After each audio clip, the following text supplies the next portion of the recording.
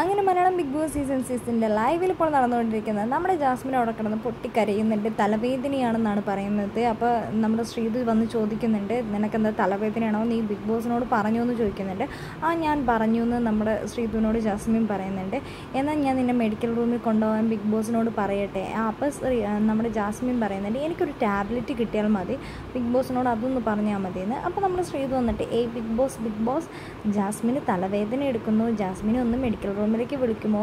ജാസ്മിന് തലവേനേന്റെ ഒരു ഗുളിക വേണമെന്നാണ് പറഞ്ഞിരിക്കുന്നതെന്ന് പറയുന്നുണ്ട്. അങ്ങനെ അപ്പോൾ നമ്മുടെ ഗബ്രീൻ ചോദിക്കുന്നുണ്ടായിരുന്നു ശ്രീധുവിനോട് തലവേദന എന്തോ എന്ന് പറയുന്നുണ്ട്.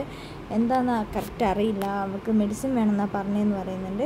എന്താണെങ്കിലും മരണം ബിഗ് ബോസ് സീസൺ സിക്സിൽ നമ്മുടെ ശ്രീധുവിന്റെ ക്യാപ്റ്റൻസി എന്ന് പറയുന്നത് ഒരു അടിപൊളി ക്യാപ്റ്റൻസി തന്നെയാണ്. പറയാതിരിക്കാൻ വയ്യ. എല്ലാ കാര്യങ്ങളും കറക്റ്റായിട്ട് പെർഫെക്റ്റായിട്ട് ചെയ്യാൻ ശ്രീധുവിന് സാധിച്ചിട്ടുണ്ട്.